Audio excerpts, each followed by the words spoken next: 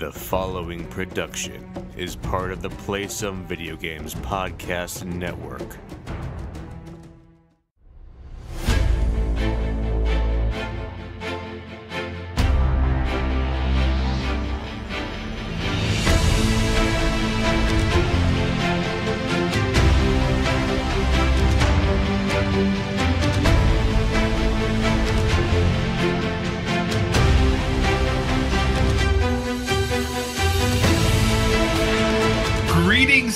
Demons, and welcome to Board with Video Games, the gaming podcast that strives for the right balance of coverage for games you play on your table and on your television. You can think of us as the Buzz Lightyear and Woody of gaming podcasts. We're a proud member of the PSVG Podcast Network and a member of the Make Us Better team over on Patreon. I'm one of your hosts, Kyle, and joining me on this co op adventure, the only guy I would want to go to infinity and beyond with, Josh. How are you doing this evening? Ah, shucks, I'm flattered. I am doing okay. I'm dealing with my cat allergies due to my new cat. I'm really miserable. disappointed. I'm really disappointed you not did not pick Sparky for the name. Again, I know Sparky's a dog, but in the world of video game or, or board game animals, Sparky is pretty great. That's fair. Sorry to disappoint you. It's okay. I'm sure it won't be the last time. You're probably right. It probably happened during this episode. Um, funny thing, what I was going to write though, when I did this little show intro, the initial thing when you said, "Ah, shucks," I was actually going to talk about how you're the only person I'd want to go into an incinerator with. Uh, but I figured that might be a little bit of a bleak way to start the show, so I didn't go there. But I thought I, we could laugh about it after I did it the normal way. But there was also like six of them in there. So That is very true. So maybe that would have to be a whole PSVG group slash episode for that one. So anyway, we really probably should just do a movie podcast at some point because I feel like we end up talking about movies at some point all the trying time. to stop me. So, all right. But hey, you know, this isn't a movie podcast, it is a gaming podcast. So, thanks so much for joining us this week. As always, send any feedback, questions, suggested topics to at board with VG on Twitter and Instagram. You can find us on Facebook at facebook.com slash board with VG. Feel free to give us a five star rating over there. Also, if you want to communicate in the long form, still waiting for that first fan fiction, board with VG at gmail.com and use the hashtag board with VG on all the social medias so we can check out all the awesome things you're playing and stay connected with all of you. If you are interested in helping make us better, check out patreon.com slash make us better. Big thanks to all the supporters over there. And if you're interested in getting bored with VG on his own podcast feed, that's right. We might we're we're trying to go out on our own, branch out, be cast aside from the nest, if you would, and, and fly. Um, giving us a dollar or two over on Patreon would really help that happen that is a, a new goal that has been added is getting all of the PSVG feeds onto their own individual podcast feeds. Though I know you all love listening to all of the shows that ha- come out like basically every day.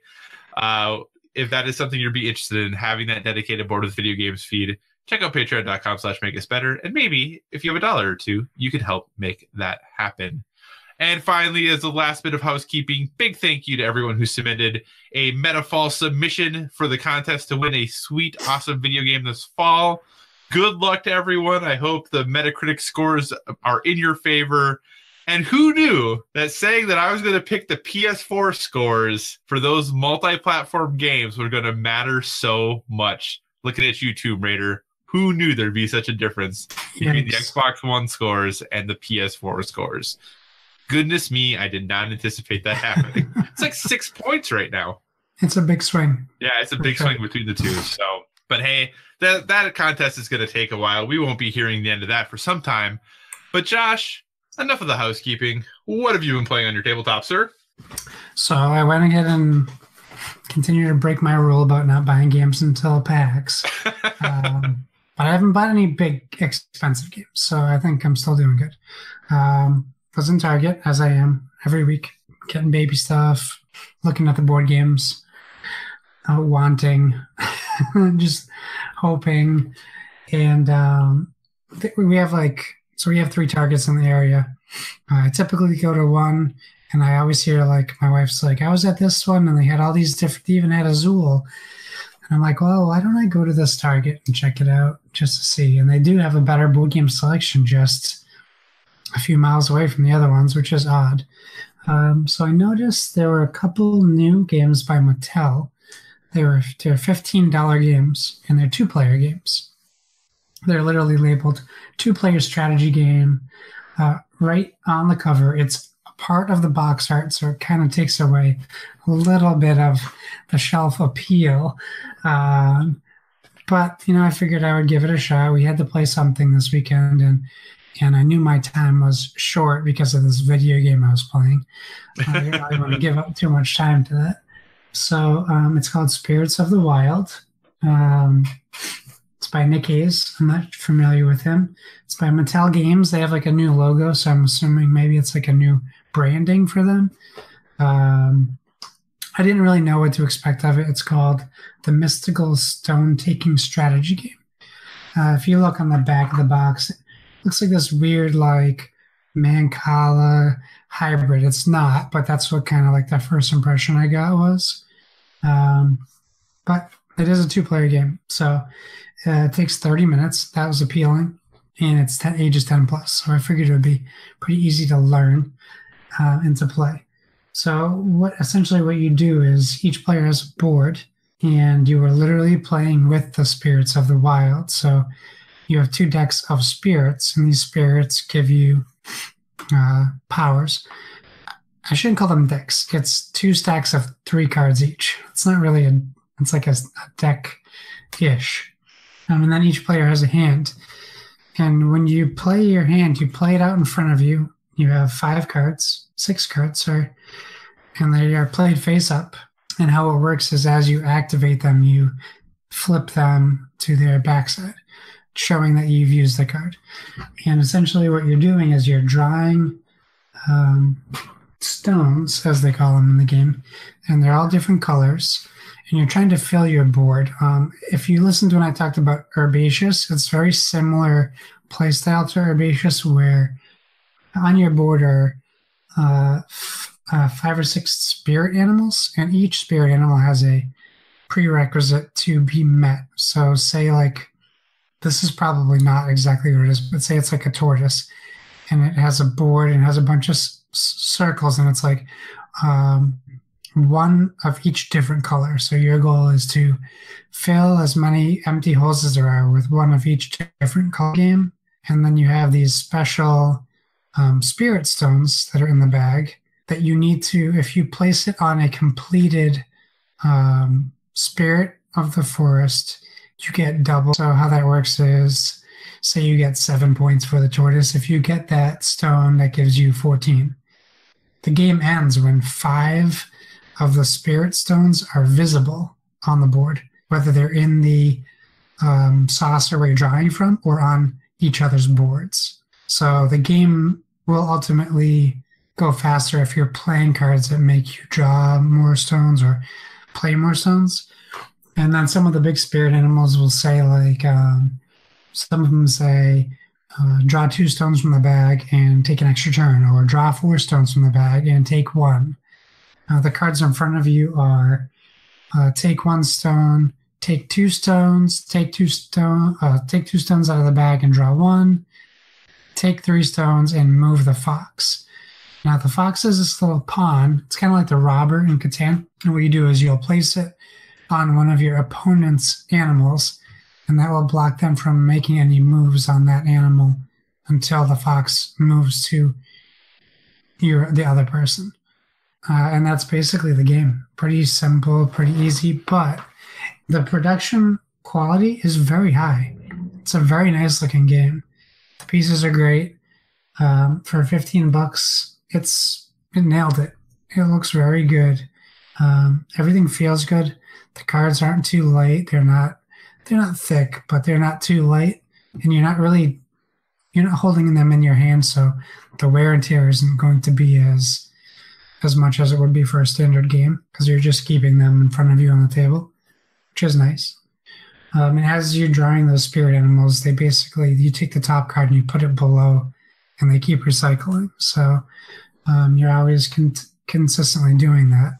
Quick turns, you take one move on your turn, the next person goes, etc., etc. So um, I really enjoyed it. for 15 bucks, it's an easy recommendation for me. For All anyone, right. honestly. Awesome. Awesome. All right. So that is Spirits of the Wild available at Target. Yes. Josh recommends, but pretty not too challenging, is what you're saying.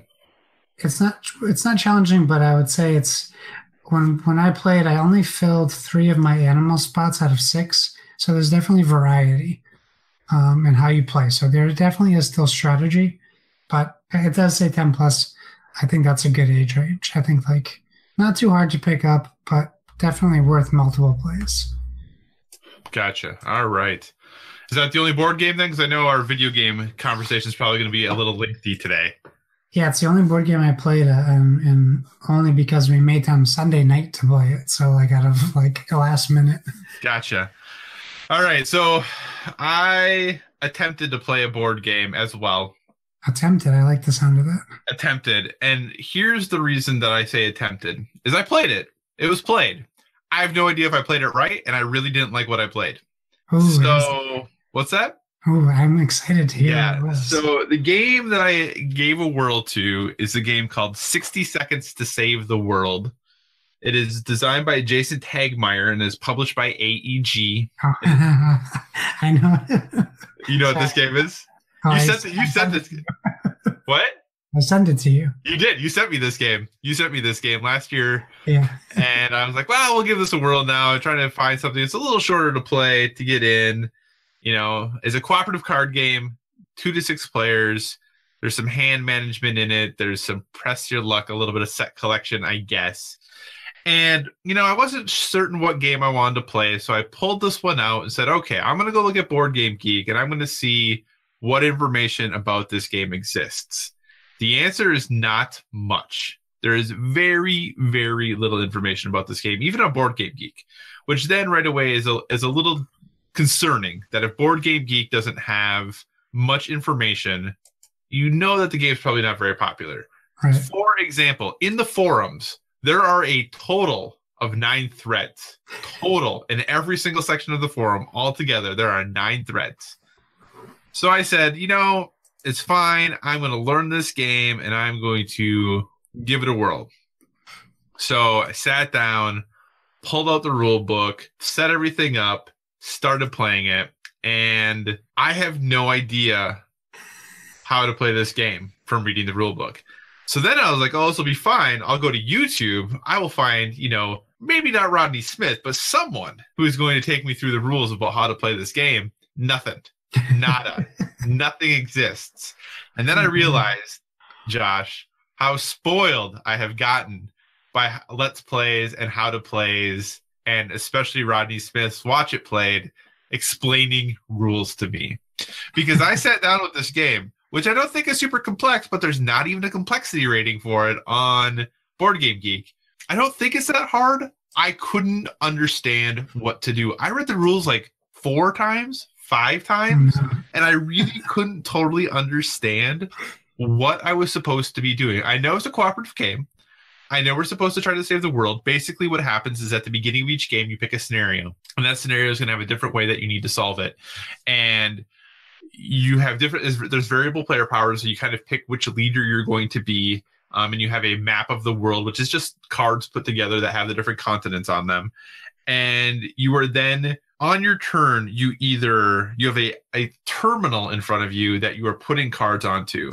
So you can either add cards to the terminal, which then give you additional abilities of things you can do, or you can execute an order from the terminal. So on your turn, you can do up to two actions, but you can duplicate an action if you want to. So you could put two cards in your terminal if you want. The thing that's hard is that once you take an action, there you have to get rid of all the cards in your terminal, I think. But I don't know if they're just the cards you use or all of them.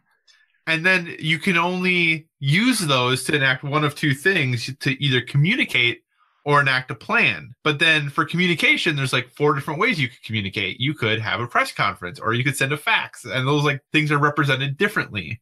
Um, and then to enact a plan, you have to do like one of three things, but I don't really know exactly how to do those three things, either even from reading the rules.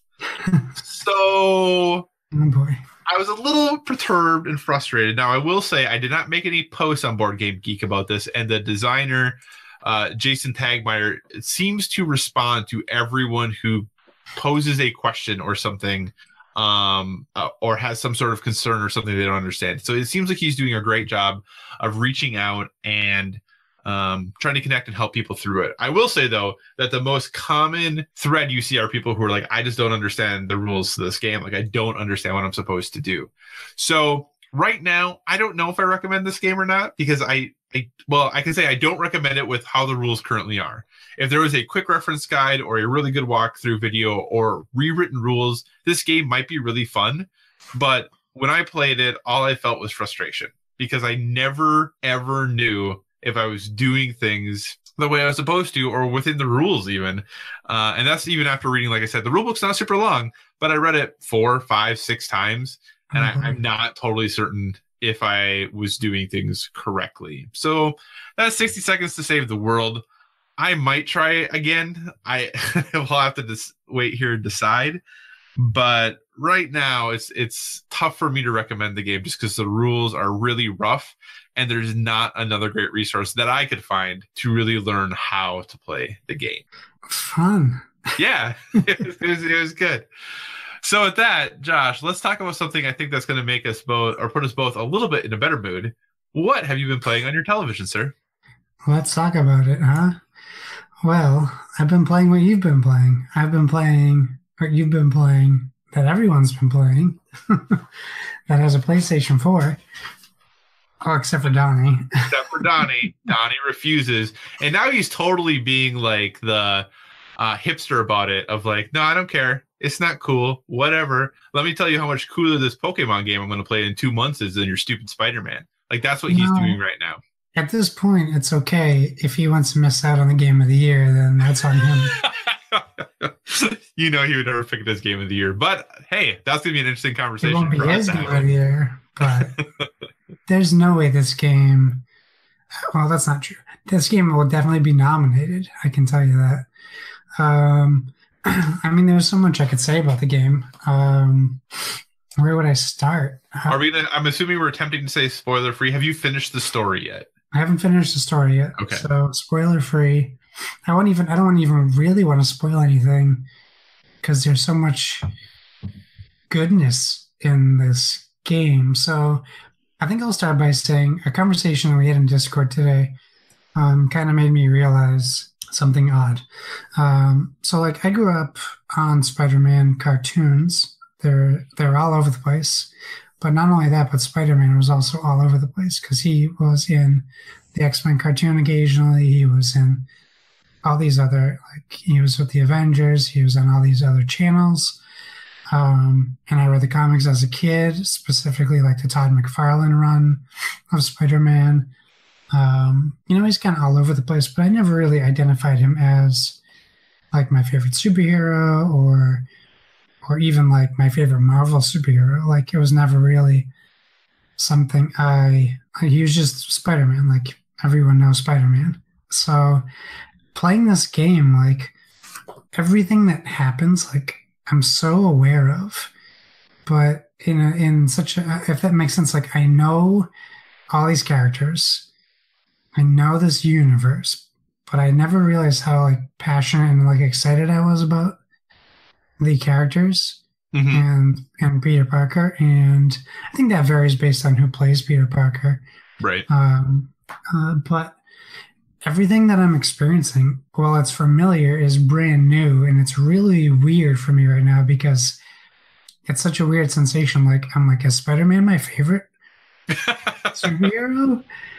Where is this coming from? Like, I think it's because the game is, is so good that it's really uh, uh, in, inflaming. It's really get making my my Spider-Man nostalgia really like shine and and it's a game that I find rare where you're getting better as a player as your character is getting better. So you're playing Peter Parker. Peter Parker is becoming a more proficient, better Spider Man, but you're also becoming a better player at the same time. And they do it very subtly. Like as you're leveling up, you know, you'll slowly like f- plus five percent like swing speed, Mhm. plus plus ten percent attack. Like it's very like you could even not pay attention to it, and because like you just go, okay, I got an attribute point, and not like pay attention to anything else, and just feel you just feel like you're becoming Spider-Man. Like I'm at a point now where I'm like the combat is so fluid. It's so much better than Batman Yeah. that like Batman I felt and maybe that's the difference. Batman's not a superhero. So maybe I'm feeling more that I'm putting more of work into Batman combat. Oh boy. try to save it. Kevin Uh, Austin's gonna be so angry. But like super, Spider-Man is a super superhuman, a super like he's not a normal human like Batman. Mhm. Uh, Batman is my favorite hero of all time. Which so it's weird for me to say like Spider-Man's better than all the Batman games.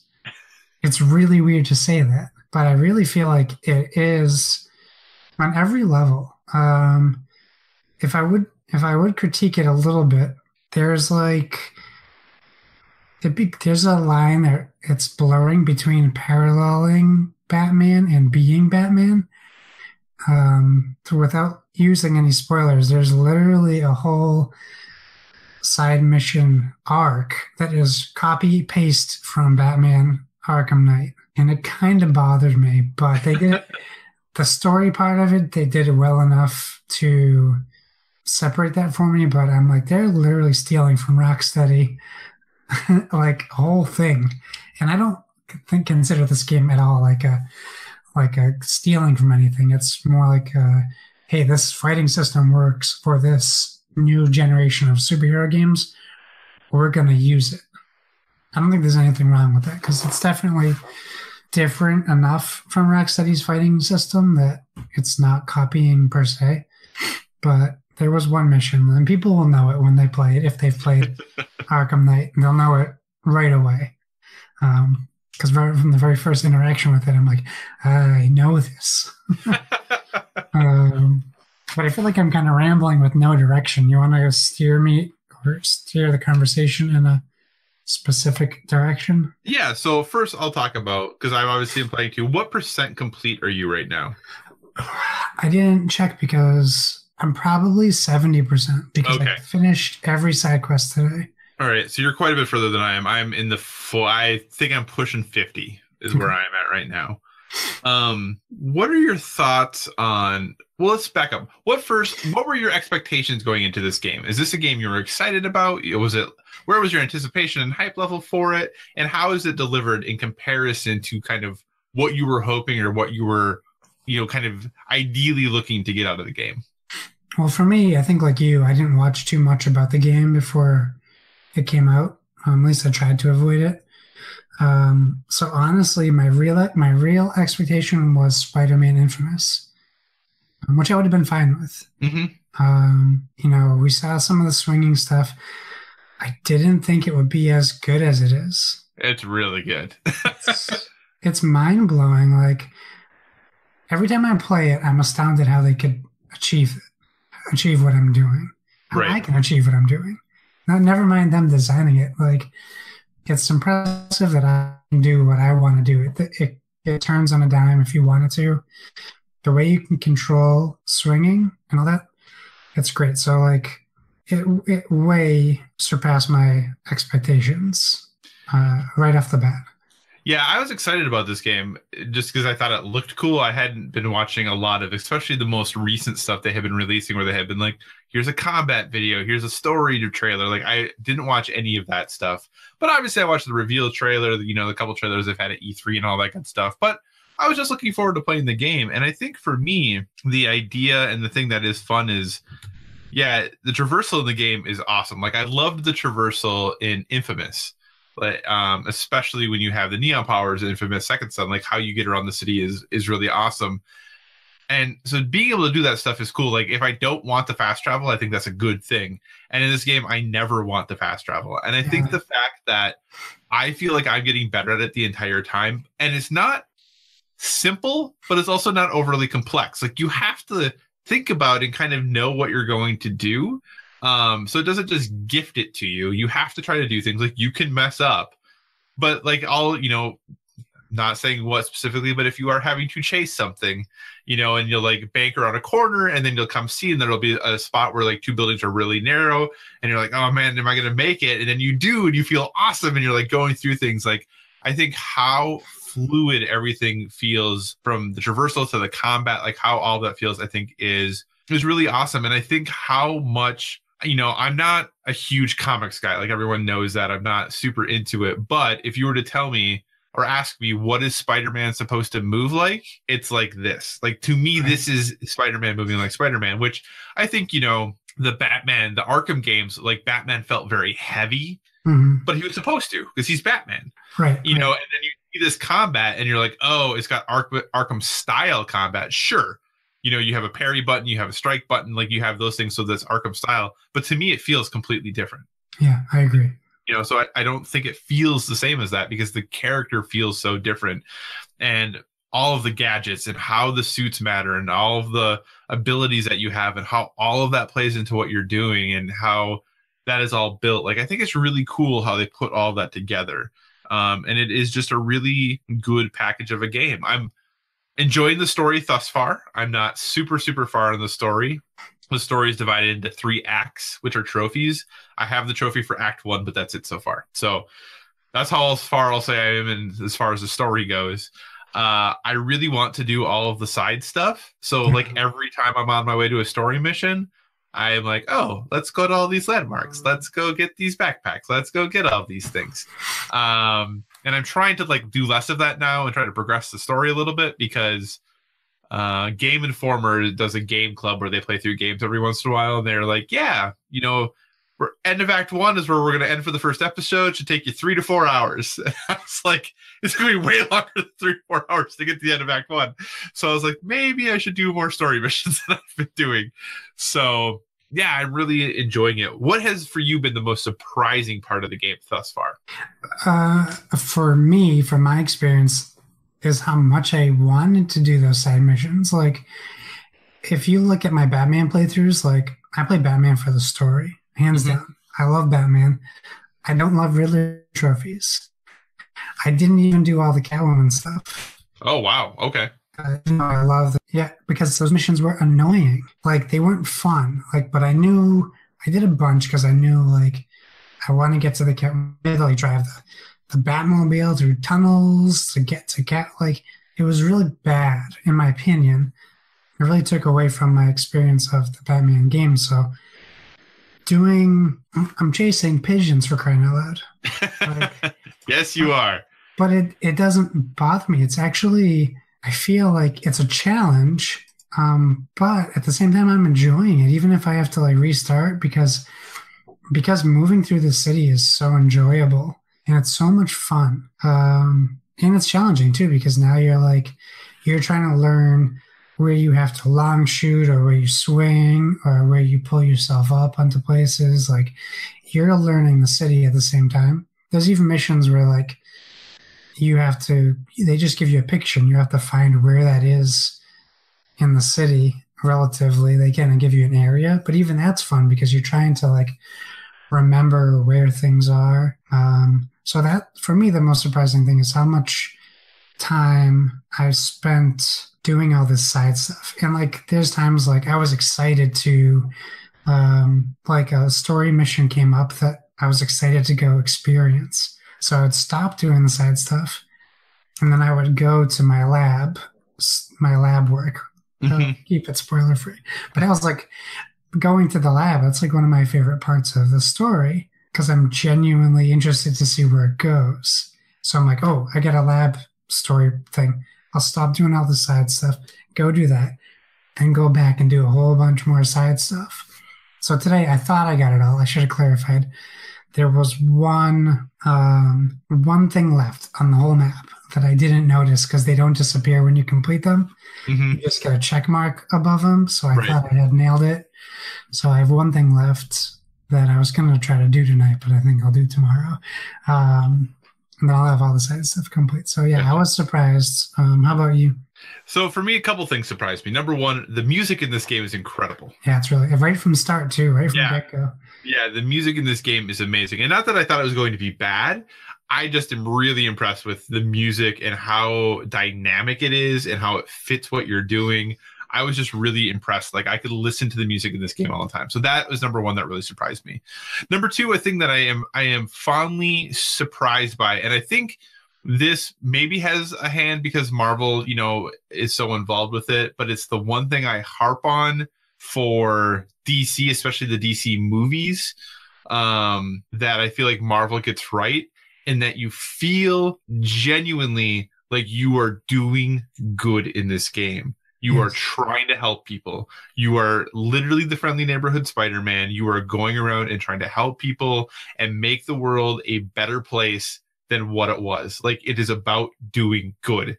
And there is social commentary in there that might tick some people off. But I, I mean, so, but it is very much about how can I make this place better and how can I help people? And you don't get that very often in, in video games. And genuinely, Peter Parker is he he cares about people. Like he is at the height of and I don't think this is a spoiler to say he's like at the height of being Spider-Man, but maybe at a pretty low point for being Peter Parker as far as how things are going in Oh, his yeah. life. You know Yeah, what I'm saying? sure. Like Yeah. he's an awesome Spider-Man.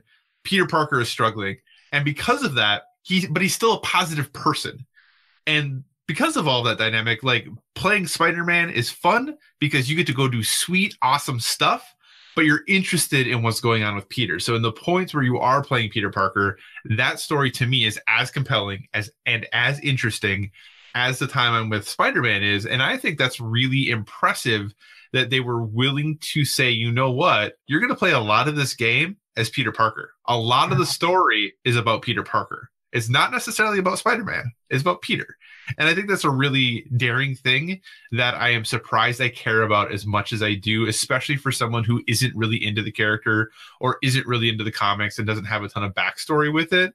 Like this, I'm really impressed at their ability to create this world where you feel like you are a hero, but that doesn't mean your life is perfect, Right. but it's still focused on doing good and helping people and making the world a better place. Because we so rarely do that in video games.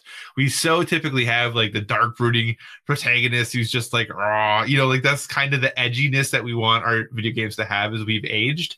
And like this game is not totally that. I think they're i don't know for certain but anyway i'm just to leave that there without spoiling anything. But i like the fact that as you're going through the game like you're generally trying to help people um, we've been talking about Spider-Man for a while. I don't want to leave Spider-Man quite yet because Donnie told us he said he wanted us to talk a lot about Spider-Man. So we're talking a lot about Spider-Man. Do you have any nitpicks? Are there any things that you don't like? Are there things you wish they would have done differently thus far? So yeah, I mean, it's tough to find find nitpicks. To be honest, like besides that that one specific mission set, which really it still it really does bug me because they could have they could have done anything. Right. They didn't have to copy paste a whole thing. Well, I Uh, mean, I think they probably still did a lot of work. Okay, you know what I mean. Though. I know. You know what I mean. Um, but I still enjoyed it. But just that's just me defending Batman there a little bit. Um, yeah, you know, there there's in the game there's stealth missions Mhm. without spoiling anything. Um, I don't love the sp- I don't love specific ones. Mhm. Um, I don't. I still find the story interesting in them, but I'm not a big fan of um, the way that. I don't know if I the right wording for it. I'm just not a big fan of them. To say I'm still enjoying them, but in comparison to the rest of the game, Right. it it slows the game down a lot. It and does. You have to change your whole play style. And if that's like you're not, if that's not like your style of gameplay, it can be a bummer. I think. I mean, I'm I'm fine with it, but it's just if I had to pick a low point, I would pick that. But that's really it, to be honest with you, so far. Um, I would I would even not even put it in a complaint category if I had to say. If I had to say if I had a complaint about the game, I really don't. Right. I think for me, I am one thing that I could see people complaining about that I don't care about, but I know some people do. Puddles. This is what's that? puddles. Puddles. I was actually going to ask you about puddles in the, at the end of this, so we'll get to puddles in a moment. Um, this is a very old school, quote unquote, old school open world game. hmm You have a lot of stuff on the map. You have towers you're unlocking. There's lots of things on the map to go check off. Like all of that is very much there. I enjoy old school open world games. Like I, I like that, but I can understand where some people now that is not necessarily what they probably want as much. They're probably looking for something that is a little more immersive. Did you hear the news about uh, the new Assassin's Creed? No. So the new Assassin's Creed is actually giving you the option to either have a more directed story where it's going to be like all the stuff on the map, or you can do it through exploration mode where you just have to go find what you're Ah, supposed to do and you get to cool. choose what to do and kind of how you want to experience the story there this is very much an old school ubisoft even you know your the correlation to infamous how like the infamous map looked. This game is like that. So i think there could potentially be some pushback on that that is very old school in that way. When you are you know there are crimes that will happen throughout the city and you have to go stop them. Man in marvel's new york do a lot of people get kidnapped and put in trunks? Let me tell you you know? Like you there's a little bit of that that happens. Now i still really like doing it. Like it's fun which i think makes it easier to overlook but i think there is kind of that old school mentality a little bit about this game. So that's one potential thing i i, I would say is, is i'm not wild about. But outside of that i'm really having a good time with this game. Um i haven't heard anybody say yet about how you know that clearly they were influenced by breath of the wild because you can climb anything Get it because it's spider-man so he'd be able to anyway um, but you know, I, I am very surprised that I I'm just having a lot of fun with this game. Is this game a quote unquote better game than God of War? I don't think so. Am I having more fun than I had in God of War? Maybe. I might be. yeah, I um, certainly am. You know, and I and I think that's different. You know, I think those can be two different things. Um, and speaking briefly of puddles, not even in a jokey jokey way, but uh I think this game now that is out and people have it in their hands, the fact that people were complaining about puddles, I think now is hilarious because this game is gorgeous. yeah, It is a ponds are like gorgeous. yeah, this game is absolutely beautiful. So and it runs buttery smooth. I, I've never had any technical issues. I, I haven't had any problems like that at all.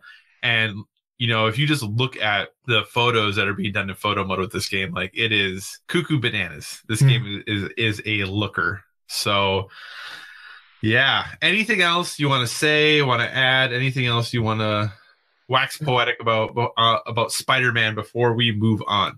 That Metacritic score is too low. I'll tell you that for this game. So where for you right now? Because I know you said potentially one of your favorite games of all time. Question yeah, mark? it's like it's like it, it could it it could have beat Horizon if it was a little bit more difficult. okay. How do you find the difficulty? Well, are you playing it on normal? on normal? It's pretty Normal. easy. Um, it's still challenging. Don't get me wrong. I definitely died a few times. The brutes are ridiculous. I, Yeah. I have the toughest time with the brutes, and if you don't tie on the rocket launcher guys perfectly, you're screwed. Um, but I- think it's I think it's perfect for this game because even the boss fights are fun. hmm So it's not to the point where you're getting frustrated. Um, but I think that what what keeps Horizon just above it for me is that Horizon's difficult enough where I feel like I'm accomplishing a feat when I complete something Mhm. and not just progressing the storyline. Right. Which is totally fine because Spider-Man is a game that needs, a, I think, a wider age range to enjoy. Not that a younger kid can't play Horizon, but it's definitely not a story uh, geared towards kids. However, we did think Spider-Man was geared towards kids. We were talking about it in Discord. Um, minutes before I encountered a very violent scene in the game where you're telling someone, "Oh yeah, it's fine for kids. It's your friendly neighborhood Spider-Man. There's not even any blood." And minutes after that, there's blood on my screen and lots of other stuff. I was Yeah.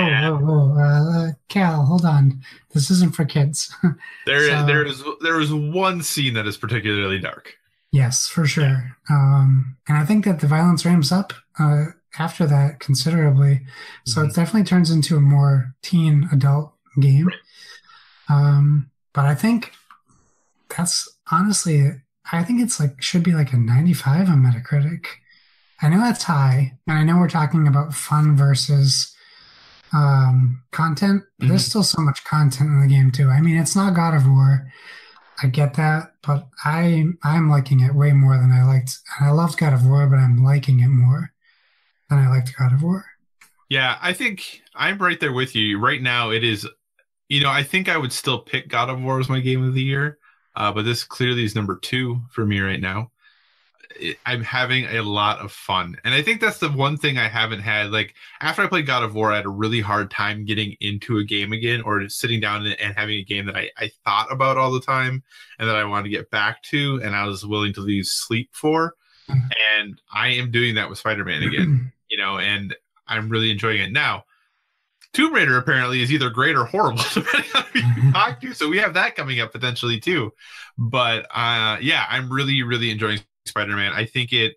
I don't know if it's going to actually quote unquote win Game of the Year, which whatever that's worth to you. Like I don't know if any site or any major place is going to give Spider Man Game of the Year, but I think it's going to be one of those games that people are going to say like, "Hey, Spider Man was really great. Now let's move on to the other things like God of War, like Celeste, like probably Smash Brothers, like those sorts of things. Yeah. Uh, Red Dead Redemption, all that stuff, even though we don't know what that game's going to be like yet. But, you know, I think that's one that's thrown out there often. But yeah, I'm really impressed. I'm enjoying Spider Man, and I'm sure by this time next week, it will be 100%ed, platinum trophy attained, and then I will be anxiously awaiting the DLC in October. So, Yeah, it's exciting.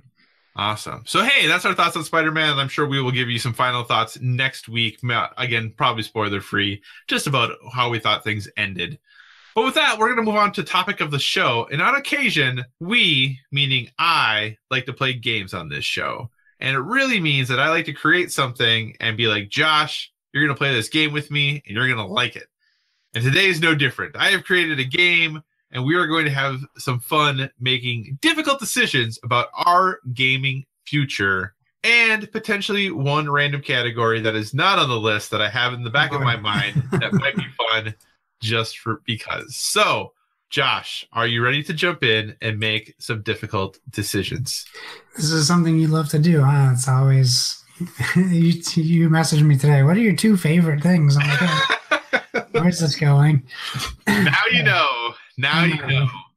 So I don't think this game needs too much explanation, and we'll just jump into it, and I'm sure you'll follow. So this next question, or this first question, applies both to video games and board games. Josh, hmm if you had to choose, would you choose to only play games released after today, moving forward, or only play games that have already been released? So to clarify, you would never be able to play Spider-Man again because it's already been released if you picked new games. So every game would have to come out after September, we'll say Thursday, we'll say September 13th. You can play anything released after September 13th, 2018, or you can play anything released before September 13th, 2018 for the rest of your life. What would you pick and why? If I'm a Switch owner, I can get the best of both worlds, right? Because every game they release is old game. wow. I mean, yeah, like all those remasters, the games that we played seven years ago. Yes, you can play again when they come out on Switch. That is true. So that sounds like a win-win to me, right? no, I would only I would only play games um, released after today Why do you say that? because while some games have good replay value, Mm-hmm. Um, and I would miss out on a handful of games I haven't started or finished yet. Mhm. Uh, how Fo- FOMO, my friend. like, how could you like? What if you you like make this deal with the devil? I guess, and then like tomorrow they're like, "Well, we brought Casey Hudson back, and we're doing a new Mass Effect trilogy, and we fired everyone from Andromeda, and we're doing a new a new engine." I'm like, I guess I can't ever play that. well, what about the other way that you say that you only can play things going forward, and then all of a sudden, you know, we have another market, th- like another early '80s situation where the, just the market drops off the bottom, and we have no more new video games for like seven years. Then what do you do? Start whittling wood. Start whittling wood. Can I? Okay. If I could do it like separately, if I could do board games, it would be ones previously released. If it was video games, it would be future release. Why do you? Why would it be different for the two if you could pick? Board games have such a better shelf life, Okay. and they're social games. So I'll be I'll be playing Catan for 30 more years. Right. I can tell, I can promise you that. I can't promise you that I'm going to be playing Potion Explosion in 30 years or fifth and sixth student or whatever. Like I can't, I don't, I don't know. But if I look at all the games I have now, even if I wasn't even able to buy more games, I have enough in board games to play forever. But don't you have that in video games too in your backlog? You do have it for video games, but video games don't hold like the test of time. Board games, if once you go digital, you're not having board games anymore. So they're not going to change the way you play them. But if you go try to play Spider Man on PlayStation 1 right now, you're not going to be having as great of a time as you would be if you were playing Spider Man on PS4. Or Gotcha. GoldenEye. Are there are there any games that you have not played that you would be bummed you missed out on moving forward if you weren't ever able to play any old games anymore? Probably The Last of Us. Can't believe you still never played The Last of Us. I know. I keep wanting to start trying it, but You have it. I know I have it downloaded. It's on my it's on the PlayStation. um, may, yeah, maybe I'll play it next. I don't know, but um, yeah, I mean there are games, and there's probably games I'm not thinking of. Hand of Fate Two is a game I really want to play. I just haven't bought yet. Um, so there's a bunch that I would be sad I never get to play. But am I just answering these? Are you answering these? Oh no, I'm going to answer too, but I just like asking you a lot of questions about it. My answers are Yeah. going to be quick. Don't worry. Yeah, I mean, but you- I mean, the future is so much possibility. I'm just really surprised that you picked Pass for board games if you could separate them, because then you'd never be able to play the Horizon Zero Dawn board game. I know it's a small sacrifice to Yeah. be able to keep my Catan, That's true. precious Um, Catan. Yeah, so for me, I actually am probably the same. I would definitely for video games. If I could, if I had to pick one, I would pick everything moving forward, uh, because like you, I want to experience the new stuff. I there are other games that I would miss out on or be bummed that I didn't play, absolutely. But if I haven't gotten to them yet, Right, the motivation isn't there. right, like how broken up am I about it? Especially if I have them already and I haven't played them.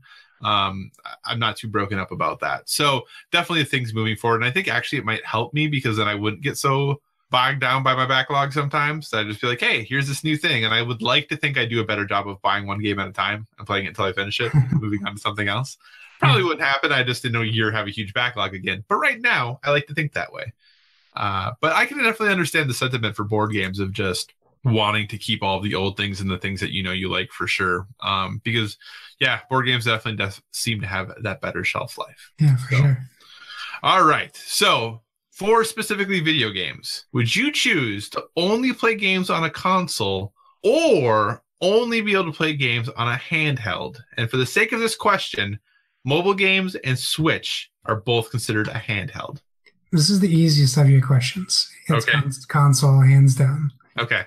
I'm just not. I, I I want to be a handheld player. Mhm. I'm just not. And if when I worked for Best Buy and I was on the road for three years, yeah, my PSP was my like my lifeline. But when I'm at home, I'm not going into the room to play my 3DS or you know that's not what I do. If I have a console, I play the console. If I'm doing if I'm away from the console, I do something else like play a board game, go outside and do something. Like I just don't have that want. Not that it's wrong that anyone does that, but I just don't have that want to carry a console with me anywhere. Right. I hear you. And I'm pretty much in the same boat. I just didn't know because I know you're you enjoy many of your mobile app games. Yeah, I didn't know. I, I didn't think that would be big enough to swing you away from console. But I'm in the same boat. Like I have a 3DS. I have no idea where it is. I have a Vita. I know exactly where it is. And I have a Switch that I don't think I've played in like two since I stopped playing Dead Cells. Like, which I still want to play. It's just that other stuff has come up, and I would much rather, with my gaming time, sit down and play on my console. And if I have the time where like something else is on the television, I usually am not a person who's going to watch TV and play a video game at the same time. I know there are people who are do that. I just can't follow both of them. Like I, I can't do it. Um, so then I either would be like, well, if I'm not watching what's on TV, I might as well just be playing a console game. Or if I want to watch what's on TV, I'm not going to play my handheld. So, well, like I said, I kind of actually did that on Saturday. I was watching the Overwatch World Cup and playing Spider Man at the same time. It was pretty great. But that is something that you know I, I can't do very often, and I missed a lot of the Overwatch World Cup by doing that. There's a lot of things that I did not know it was going on, but or I had to try to catch back up on what the storyline was for for the match that was happening. My wife Uh, noticed that was on Disney XD also. Yeah, they have a contract. They have an agreement with Disney, so it's on Disney XD, and um, it was exciting because Sunday, uh, Canada and the USA played, and they're two of the top teams. Um, basically, for each part for e- from each of these preliminary events, uh, the two top teams move on to BlizzCon, and at BlizzCon is where they'll they'll play the finals to, to crown the World Cup champion, which has been um, South Korea the last two years, probably unsurprisingly. But the USA is very, very good this year, and Canada is very, very good this year. And not to get super nerdy about this, but the head coach of Team USA is also the head coach of the Dallas Fuel of the Overwatch League, and the head coach of Canada is the assistant coach for the Dallas Fuel. so it was just really funny seeing Aero and Jayne like have their teams like going at it against each other. It was cool. It was fun to watch. But anyway, enough of Overwatch League stuff. I'm sure it's not what people are here to to listen to. So anyway, we both agree though, console gaming is where it's at for us. All right, Josh, for board games, would you choose to only be able to play games with a 3.0 or higher rating weight rating on BGG or only play games with a 2.99 weight rating or lower on Board Game Geek? That's also an easy one for me, lower for sure. really? Uh, only because the replayability is higher. I think when the when the when that's lower, Gotcha. Uh, you're more likely to get other people in. It's easier to teach. It's easier to play.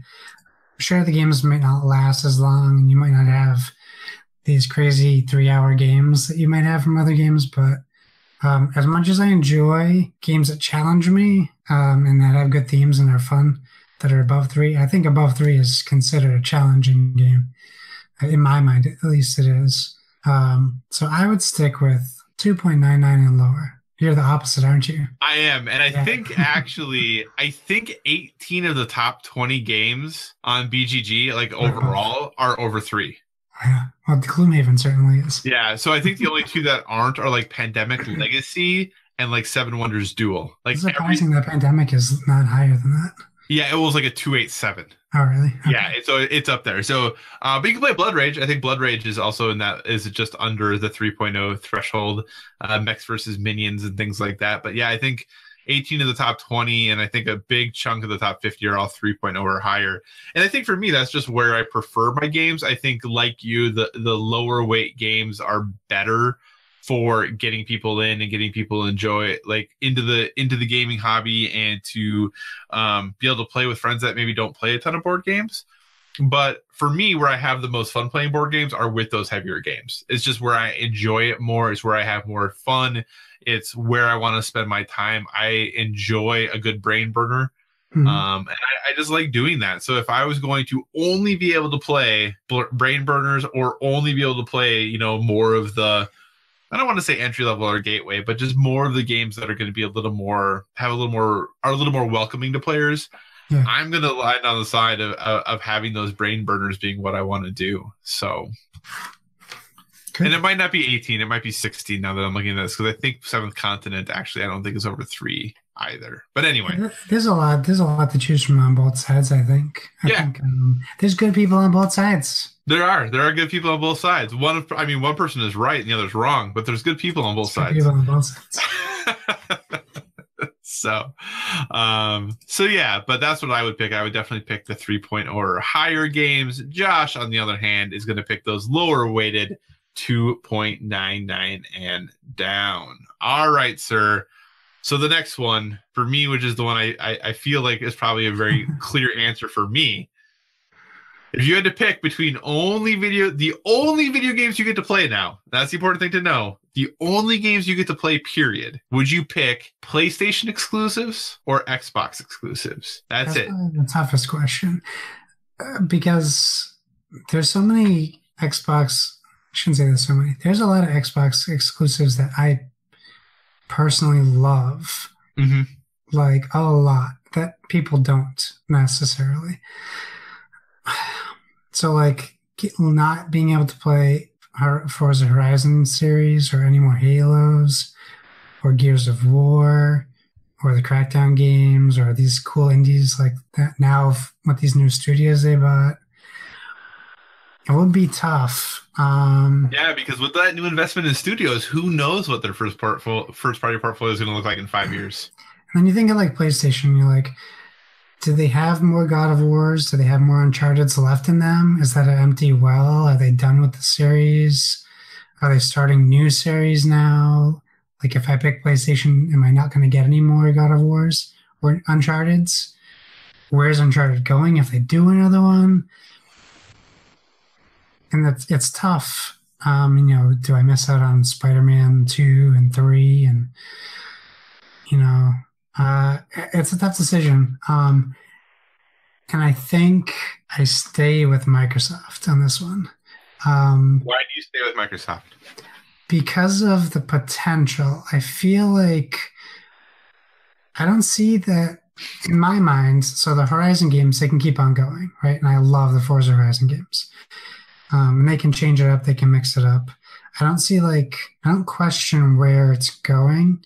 And I feel the same with like Halo and Gears of War. They, well, they're definitely for specific audiences. I think that the worlds they built are um, so open to new stories that don't take you out of the universe. Like when I think of like Uncharted and no, like if they did another Uncharted, I don't know that I want Uncharted without Nathan Drake. Like I don't know that I want Last of Us. I don't know what I want from Last of Us yet because I haven't experienced it. But I don't know if players want Last of Us without Ellie or, uh, or Joel. Like I don't know if people want like I can see maybe Infamous. I just think for my experience with uh, the way that people view Xbox with exclusives, I get that. But for me, I think we're waiting or we're waiting and I've gotten some incredible PlayStation games to play through, and missing out on another Horizon would be terrible uh, for me.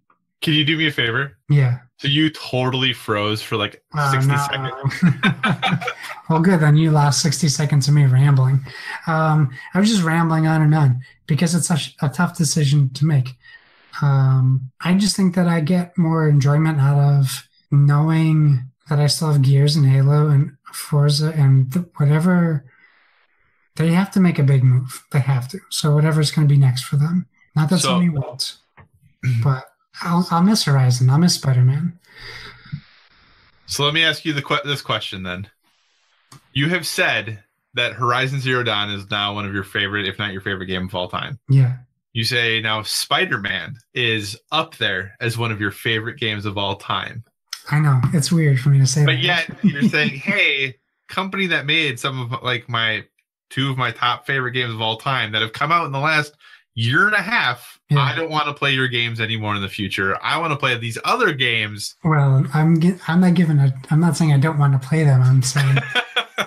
some some weird force is stopping me from playing them. like if I could have it my way, I would be playing them. Uh, but also, Insomniac who knows what they could they could go into other consoles in the future, right? Mm-hmm. Like Microsoft, the games I'm talking about, they're made by Microsoft. Right. Like they're not going to PlayStation ever because they're Microsoft. You're never going to see Master Chief on the PlayStation. Sure, but you're also not going to see Nathan Drake. Yeah, but you're not going to see Nathan Drake on the PlayStation anymore. Well, right, but you're not going to see Aloy. Right, miss Aloy for sure.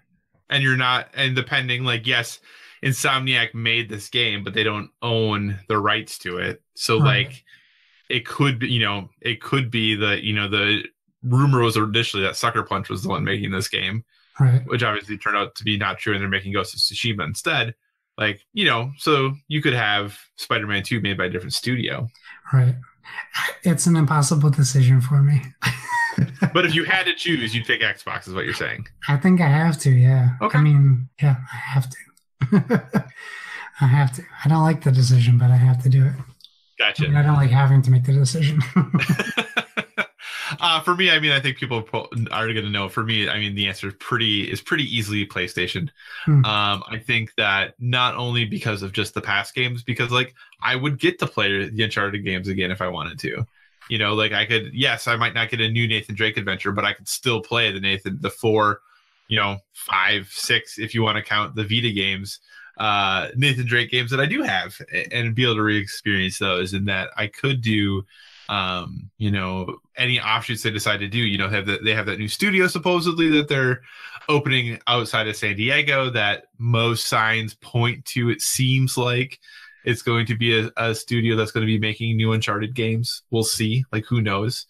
Um, but you know, that would be exciting to go back and get like uh, yes, Horizon is an amazing game, and I want to see what Guerrilla can do next. I want to see what Ghost of Tsushima is. I want to see whatever this ridiculous thing that you know we're gonna get whenever Death Stranding comes out. Like, what is that gonna be? I don't know, but I want to know what it's gonna be. I want to find out what it's gonna be. It might be trash. I don't know. I'm hoping not, but it might be.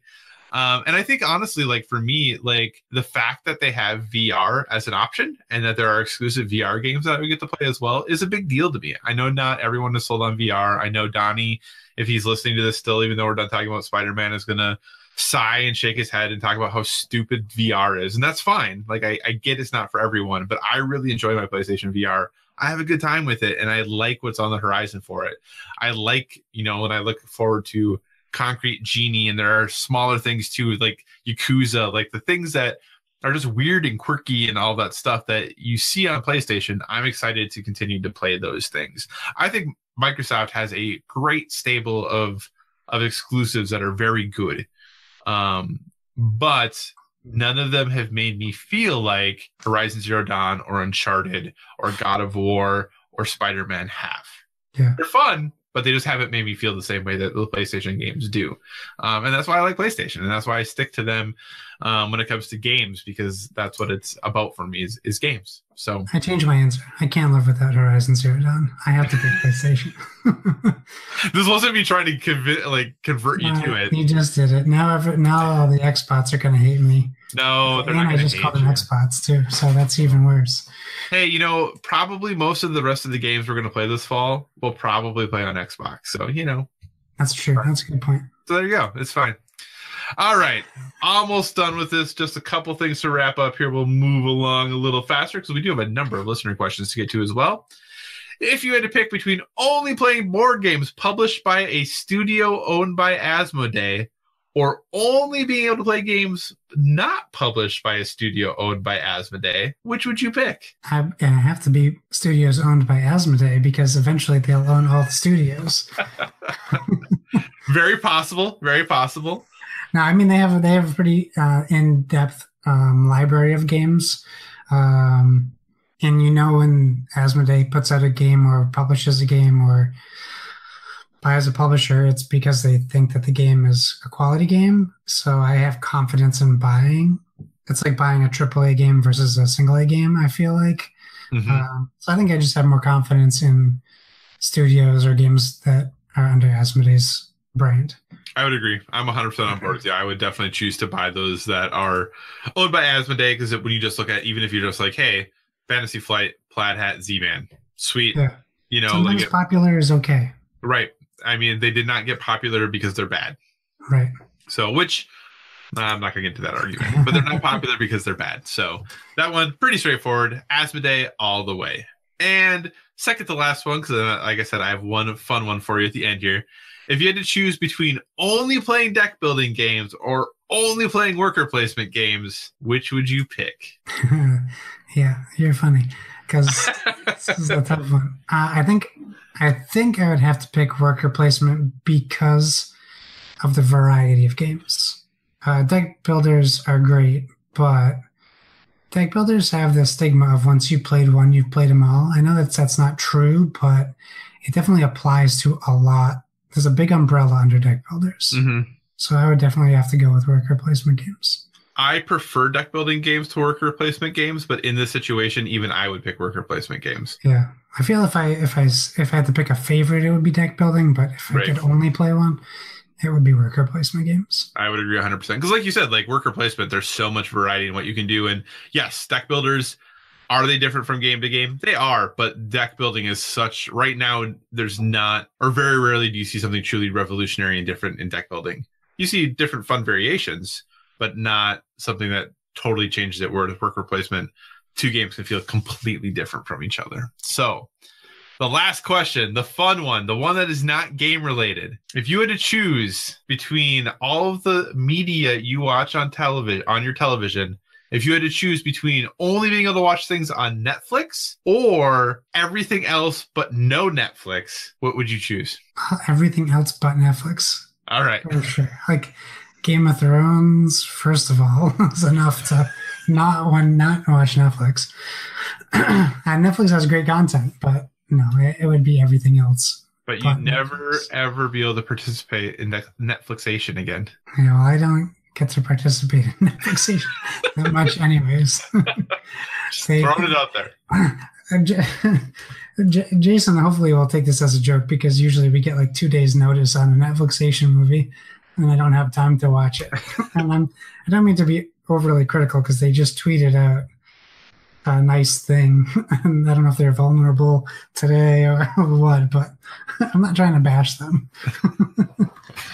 awesome. Well, hey, thanks so much. If you enjoyed our game of difficult decisions, let us know.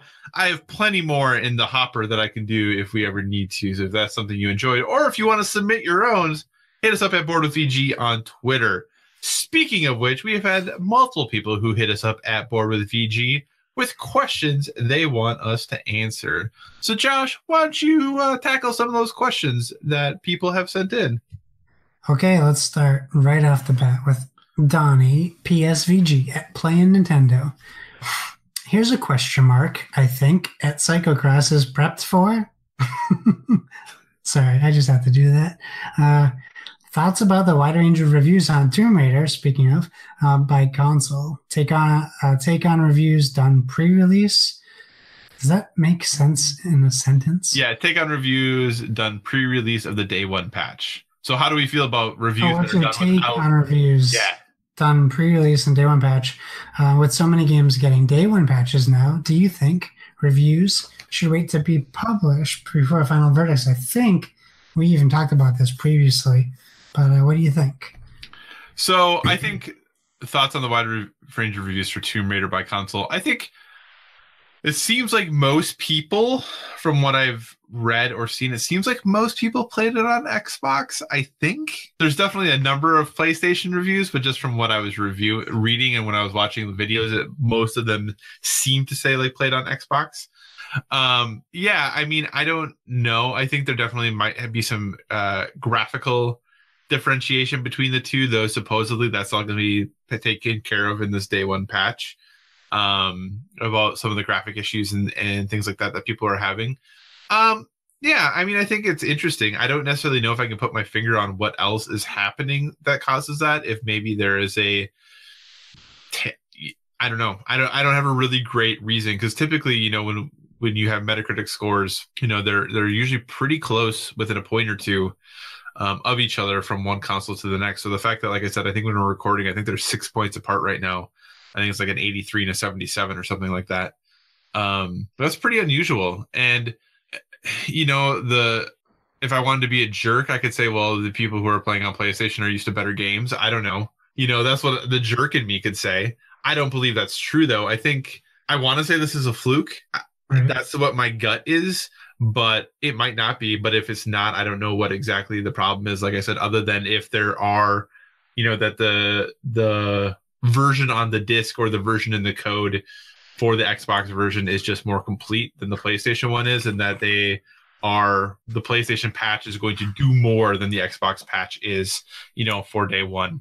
And I think reviewing games prior to the day one patch is fine as long as you acknowledge that there's a day one patch coming out. Most you know, when we did a lot more reviews for PSVG than we do now, when we would get, you know, review docs and things like that, like if there was a day one patch, it would often outline what's going to be there um, and what's going to be included in that day one patch. So, you know, I think if you just acknowledge the fact that, hey, there's a day one patch coming, um, it says that these things are going to be addressed. Just note that I, you know, during my playthrough, I either acknowledged or did not acknowledge, or this was an issue or was not an issue for me.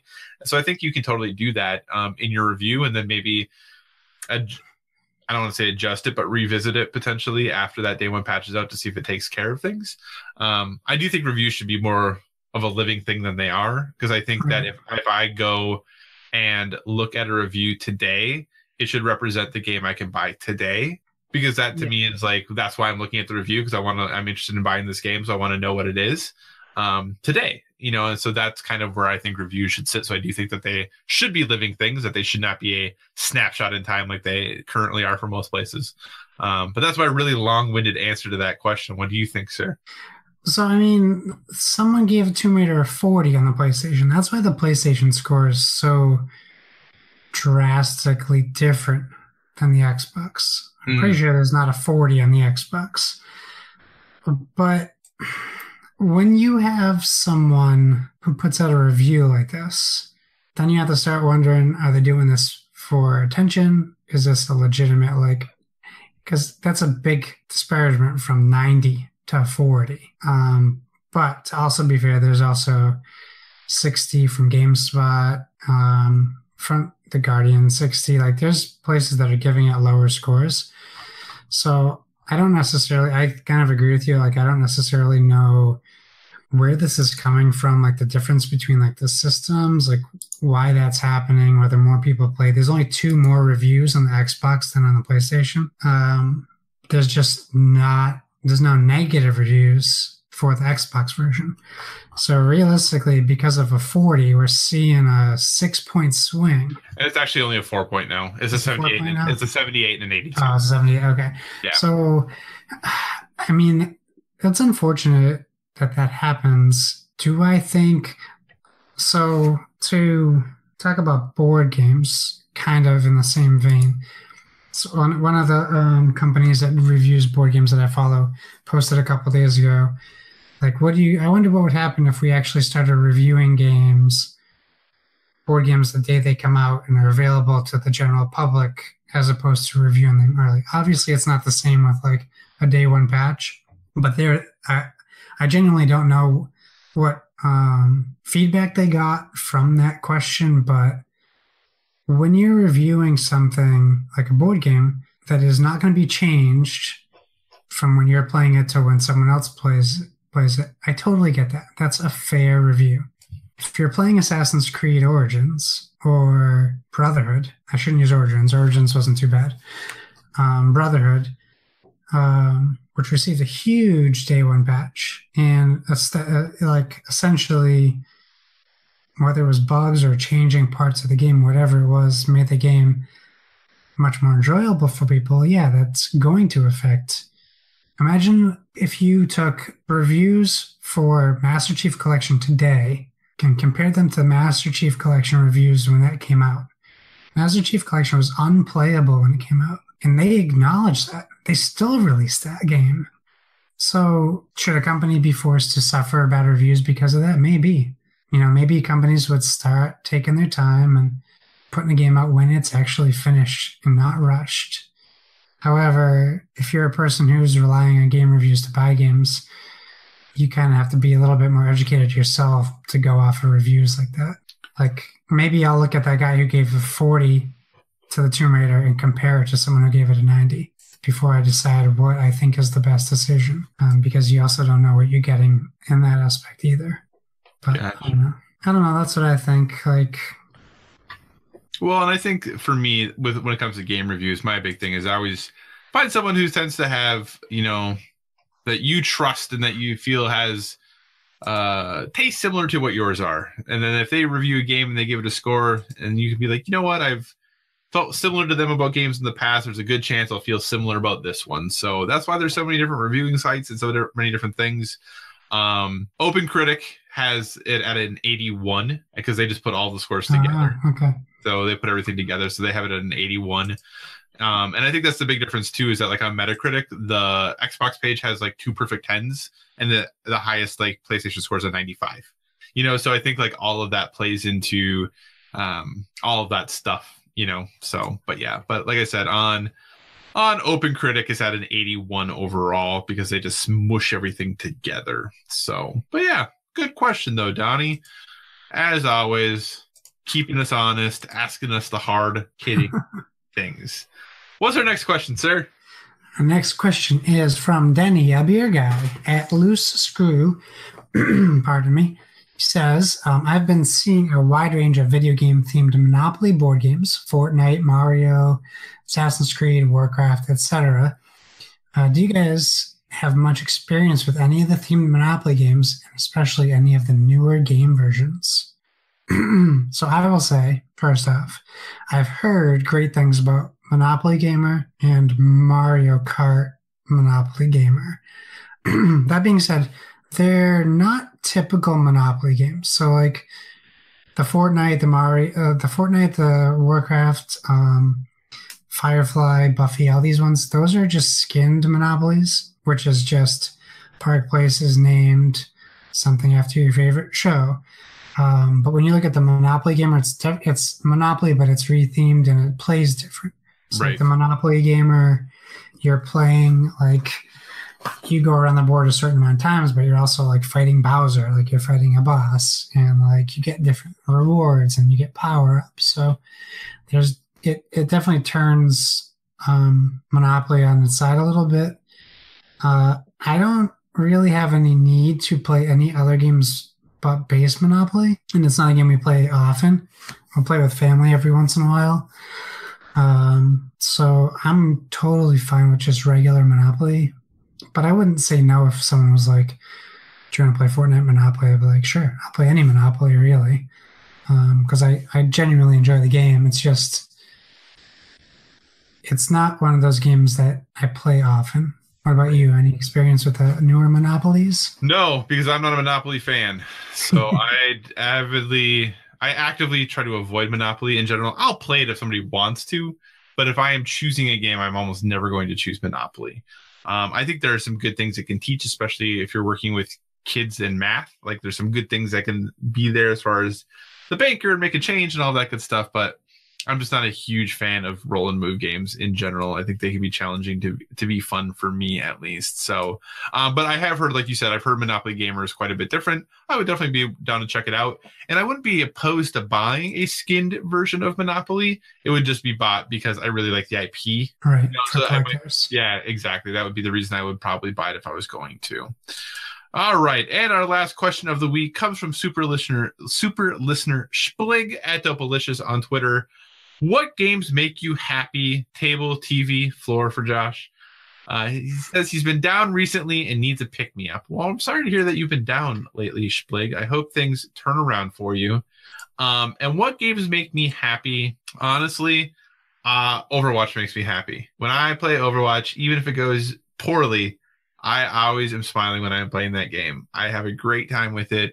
It makes me feel better. The world, the color, the vibrancy, the music, the audio cues, the voice lines, the emotes like that game just puts me in a good mood. I love playing Overwatch and I love playing it if I've had a really bad day. It always is the thing that's going to put me in a bit of a better mood. Um, so yeah, Overwatch. That is the game I play that puts me in a better mood. Josh, how about you, sir? So, uh, I mean, for Splig, it really depends on like if you have people to play with you. There's definitely a different answer than if you just kind of need something to unwind. like for me, like some of the best times I have with my friends are playing games like Seven Wonders or Dead of Winter, where you can kind of laugh um, and have fun. Even like social deduction games, where like after a round's over, you get to like you know talking about who was who and and have a lot of fun like that. Um, I'm really still enjoying Villainous a lot, um, so that's been fun for me. And like if we're talking like by yourself, like just kind of need to feel better and pick yourself up kind of thing. Um, like I put my headphones on and I'll put either a podcast or I'll put on a new album I haven't heard. Um, and I'll jump into a game like Destiny where I don't need the audio. I'll just mute the TV and I'll jump into Destiny and that just scratches an itch for whatever reason. I could see Overwatch being the same, but like before I had my son, like when I was down, if I was home on a Saturday and my wife was working, I would pop in the headphones and I would play Destiny for eight hours. I'd just sit on the couch and I would just feel good about it. I wouldn't feel like I'm wasting a day. I was just like, this is me time. I'm listening to four new albums. I'm catching up on podcasts. I mean, do what makes you happy. If you have things you can do while you're doing things, that's great. But Um, if you even want to just go watch watch it plays on YouTube, you could do that. If you just want to get a good gaming experience, um, like do what I did and watch a bunch of kids play through The Last of Us and see 15 different kids' reactions to what's happening as they play through the game. I love stuff like that too. So, I mean, find what works for you, but um, those would be the games I would recommend for me at least. And watch Magic for Humans on Netflix. Oh man, watch Magic for Humans. What an incredible show. Yes, if it it doesn't make you feel good uh, after watching it, I don't know what will. Match, watch Magic for Humans. I mean, I don't know. I don't know if I want to go quite that far. I felt so good. It made me. So I know it's great. I'm just saying, like you know, that I don't want to put that pressure on the show, and that I don't want people, someone that if they watch it and don't feel great, and then suddenly feel like there's something not correct with them. So it's a Don't good be show. like Donnie and Google how to do every magic trick in the show. That is true. Don't do that. Um, did you know that he that um the the person from Magic from Humans is the host from Cupcake Wars? Is he really? Which I was like, I know I've seen him from somewhere. I was racking my brain. I'm like, I know I've seen him on a like I knew he was a magician and stuff, but I was like, I, he was on a television show. What is it? He was totally the host on Cupcake Wars on Food Network. There you go. the more you know. I know. So anyway, hey, this has been a pretty beefy long episode. Josh, what do you say we wrap this show up? Of course, of course. Thanks for joining us, everyone. Uh, remember, you can find us on social media at Board with VG. Use that hashtag, hashtag Board with VG. It's facebook.com slash Board with VG. And as always, we're just waiting on that Dice Tower and fan fiction emails at boardwithvg at gmail.com. Uh, what was I going to say? That Patreon tier, we're as a group, the Make Us Better group, we're forty dollars away from getting a board with video games podcast page on Stitcher, on iTunes, on Spotify. You can tell your friends, just go to board with video games. They don't have to go search through a thousand PSVG episodes. Not that we don't love being a part of them, but this is a good test experiment for the group. This is going to be my plug segment, also, by the way. Uh, so if that's something you want to see, um, that's that's how we have to get it done uh, through Patreon. I'm already donating. I'm I'm capped at my donation, so I'm not pushing that any higher just to get our own feed. I guess I probably could, huh? Um, but other than that, um, yeah, we love doing this. I've said um 15 times because I'm just tired. Uh, those are my plugs. Go to Patreon, give us some money. we can do our own thing, uh, so to speak. We're doing our own thing. This isn't like nothing's going to change. Just it'll be easier for you to find us, Correct. um, and it will be easier for us to get to companies. yes. So they don't have to jump through obstacles to find us because companies aren't going to do legwork to find us. We're doing that to get to them. Um, so it'll open more doors for us and for you guys. More Absolutely. giveaways. More board games means more giveaways. That's right. Al, tell the good people where they can find you. Yeah, so you can find me at all the typical places uh, Twitter, Instagram, PlayStation Network, Xbox Live, Board Game Geek, all at Cycocross, C Y C O C R O S S. Uh, if you want to play some Overwatch on PlayStation Network or Xbox Live, come hit me up. I would love to. I'm I, I've been having a huge Overwatch itch, but I it, it's hard for me to go play by myself when I can play Spider Man by myself. So if you want to play, let me know, and I will jump over and play some Overwatch and go back to Spider Man. But as always, if you have suggestions for future topics, be sure to reach us out to us on the social media because we want to talk about what you want to hear about. Thank you so much for being here with us each week. Next week, Josh, can you believe it? Episode 50 next week. That's incredible. That is incredible. 50 weeks we've been doing this. Actually, 51 weeks because we took one week off one time. Uh, we but did a double episode one week. Oh, we did do a double episode one week, so I guess we really have pretty much done. Yeah, 50 weeks next week. Crazy to think about. But hey, again, thanks for coming on this wild ride with us. We love it that you are here listening, interacting, talking with us about the things you want to talk about. It's been great. And remember, everyone, whether it be board games or video games, never stop gaming.